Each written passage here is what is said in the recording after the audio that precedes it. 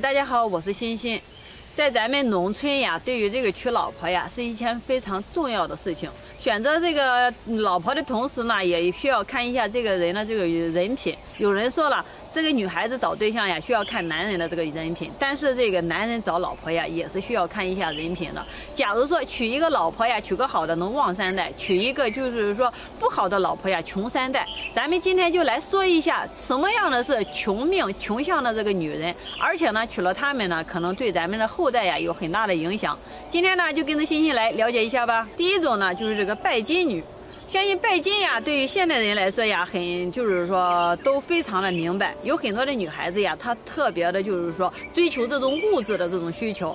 所以说呢，在这个婚姻当中呀，也是不牢靠的，因为他们呀，对于这个金钱的崇拜，还有对物质的崇拜呀，可能是迷失了自己的心性。这个时候呢，如果是他有呃更好的选择呢，也会逃离这个家庭。所以说呢，这种女人如果娶到咱们家里面，会败光咱们家里的所有财产的。所以说呀。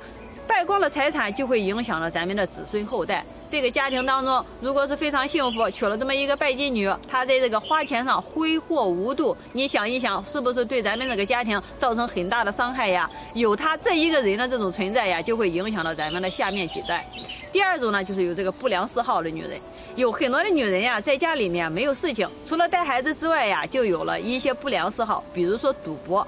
赌博呢，你如果是小赌还可以，就等于是娱乐娱乐时间，打发打发时间。而且呢，如果是成了瘾以后呀，这个大赌，十赌九输。大家都知道这个事情呀，是没人给我说得清楚。有很多的人呀，因为这个赌，而且呢，就是败光了家里的很多这个钱财。不单单是女人，而且男人也是存在的。所以说呀，假如娶到了这样的女人，这个家庭呀，也不会富裕，而会影响到咱们的后边几代。第三种呢，就是这一种比较，就是说指责男人的这种女人，而且呢，她们就是对于男人呀，没有这个可怜之心，也没有同情之心。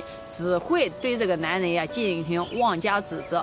你不体谅你的男人，别人还能体谅你的男人吗？所以说呀，女人不要过多的指责男人。男人是一个家的中心，而且是家庭的最大的这个精神支柱。对于咱们的男人，无论是有什么样的对错，咱们都要偏向于他们。这个时候呢，对于男人的一种体贴呀，也能更好的激发这个男人对家庭的付出，而且对家庭的一种责任。如果一个女人经常的指责这个男人呀，男人从这个心理上也会受到一定的压抑。对于咱们的这个生活呀，也会造成一定的这种困难。所以说呀，女人不要过多的去指责咱们的男人，一定要多多的体谅他们，他们也是不容易的。以上呢，欣欣说的这三种女人呢，在咱们这个生活当中呀，也是存在的，不能是全部，但是也是有极个别的。所以说呀，无论是什么样的观点呀，如果是有这样的女人，咱们尽量是还是避而远之。即便现在是不那么好找对象的同时呀，咱们在选择这个嗯老婆的时候啊，也特别的注意一下，因为你即便是娶上了老婆，如果对你的家庭造成了那么大的影响，影响了你的子孙后代，你想一想，你这个家庭以后会有什么样的发展前景呢？肯定不会好的。本期视频呢，咱们就分享到这里，我们下期再见。